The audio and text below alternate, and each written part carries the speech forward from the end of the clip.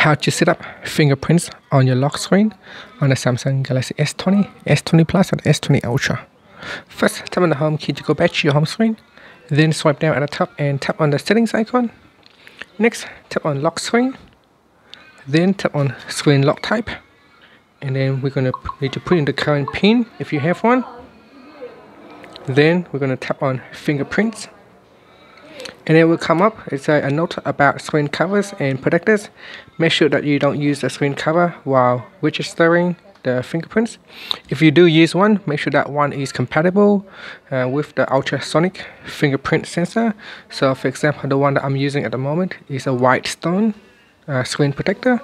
So that one there allow me to use with the ultrasonic fingerprints. So I'm going to tap on OK and I'm going to tap here to start readings now when you uh, scan for fingerprints, make sure that you scan it in a different locations. Also try to scan it the way how you hold your phone. So for example, if you hold your phone like this, then make sure that is how you hold your phone. And you can also try to spin around. Uh, just make sure that the phone can get all the different kind of uh, profiles on your thumbs or your other fingers. When tap on continued.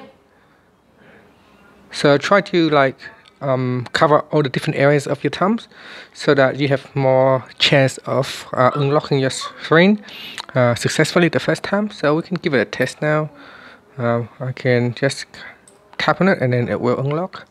If I try it with this thumb here, it will say no match. And if I try it over here, it will match. And that's it. Thank you for watching this video. Please subscribe to my channel for more videos.